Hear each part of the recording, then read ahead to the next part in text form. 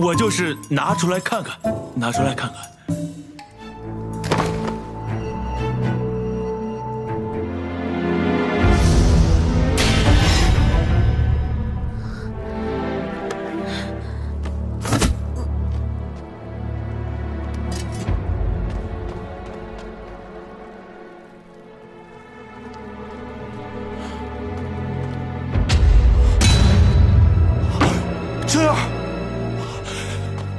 儿，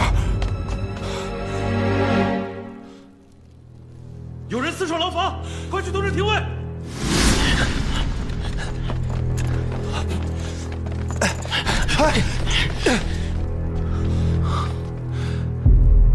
立即封锁廷尉府，任何人不得离开，保护现场。是。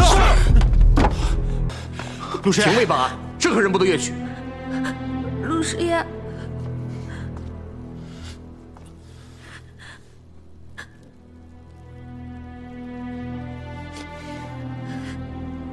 别怕，有我在。他们说我杀了人，没事，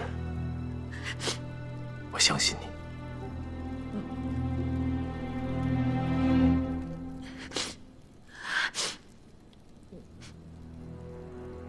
可是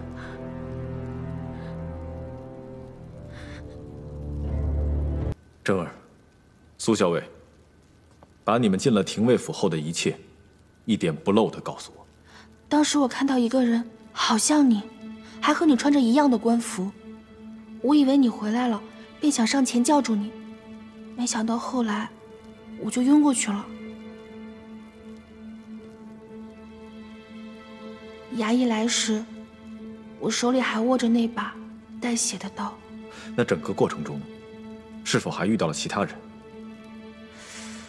朦朦胧胧之际，好像还有一个身穿黑衣之人。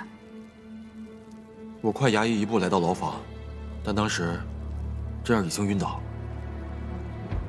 赵冲已经死了。还有别的发现吗？没有。一出事，廷尉府便立刻关门戒严。此人很有可能还躲藏在府内。我和你一起查。廷尉府办案，无需旁人插手。我不放心真儿。苏恒哥哥，我没事的。真儿，苏家和沈家是至交，沈家虽然出事了，但是我们苏家不能坐视不管。眼下我要护你周全。真儿现在是嫌犯，取保候审。我们苏家押上将军府。苏老将军苏校尉，韩仁怀义之举，陆某钦佩，但此案目前毫无疑点，尚无法取保候审。再给陆某一点时间。疑点是。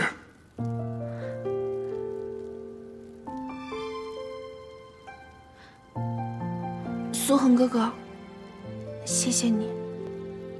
可现在也不是争论的时候，还是让陆廷尉早些去查案，这样才能真正的还我清白。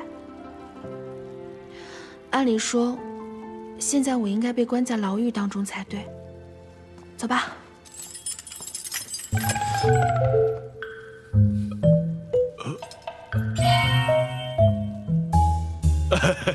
我就是拿出来看看，拿出来看看。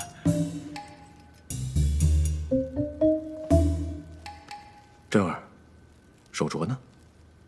啊，今天早上还在的，怎么不见了？无事，之后再找。你先安心等我消息。